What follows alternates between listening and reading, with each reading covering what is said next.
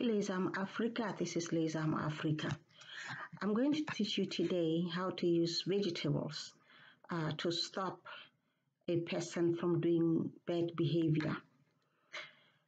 If it's a man, say he's drinking a lot, say he's cheating, whatever you want him to stop doing, what you will do, you will get like a carrot, see, but a big one is, is good enough too, but this is all I have.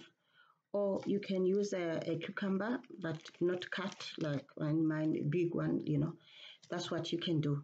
Then what you are going to do with the carrot, you're going to write the name of the person, you know.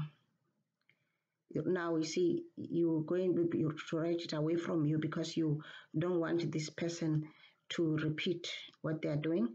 So you're gonna write their name, you, you're gonna scratch the name on there. So have like a pin or something or a, anything that can scratch. So the name will be like that, you know, the name, the last name you write on the other side as well. You can even write their write their date of birth if you want. Then you're going to take the carrot or cucumber or uh, you know any fruit or any vegetable basically that is going like you know don't want to say what but you know what, this means. You're going to take that once you have written on it and you will go outside. It doesn't matter what time of the day it is. You can go outside and you're going to look at it and you will scream at it. You will tell tell it john doe you will stop cheating now, right now.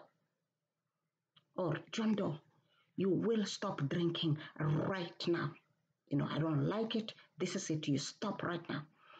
Then you're going to take it and bury it in front of your house or in front of your window.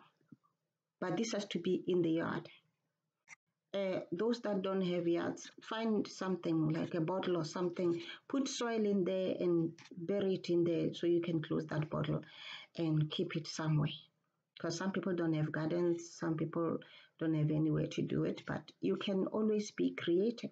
And you keep this, and then the person will stop. Okay, they will stop. These are uh, easy things to do uh, that you always have in the house that can help improve the lifestyle in the house and keep families together. Good luck.